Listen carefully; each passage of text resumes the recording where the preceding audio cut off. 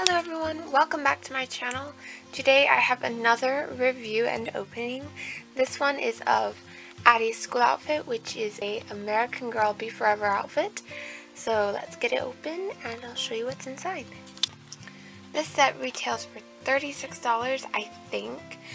However, they had it on sale a lot during the holiday seasons, and since Addy might possibly be retiring, I'm not sure about that, um, they've had a lot of her stuff on sale, so that's why I got it. I've wanted this set since it released. I initially wanted it for Kit and Sage, and then I got Addy. I was like, I have to have this one. So it comes with this skirt, and it's all this gorgeous sky blue color, and it's got this black leafy trim on it, and an elastic waistband.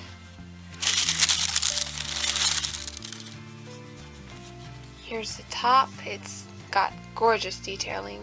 This is kind of like a remake of her original school outfit, only a different color. It's got the white collar and the bow, and the Peter Pan collar, and the white sleeves. This is all one piece. It's got Velcro on the back, and there are long sleeves. So. And then it comes with two black hair bow combs. And so I'm going to put this on Addy, and I'll be right back.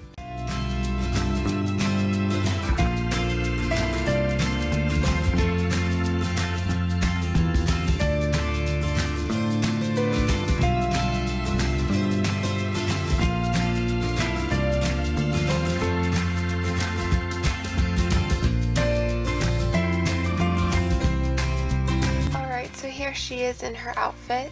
It is very large um, with her crinoline on underneath it. I'm not sure the crinoline was made for this specific outfit.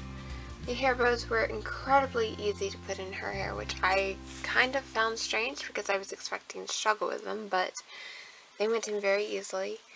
Um, no real problems. Uh, of course, the crinoline always makes it a little bit difficult to get the skirt on, but since it was a skirt and not a dress, it was honestly a little bit easier. Um, I'm curious to see what it looks like without the crinoline on. The sleeves were a little bit hard to get on my Addy because she is a Pleasant Company, but I think this would look stunning on basically any doll, but I'm really curious to see it on Kit and Sage and Caroline. So thank you for watching this video. I will put the pictures I take here.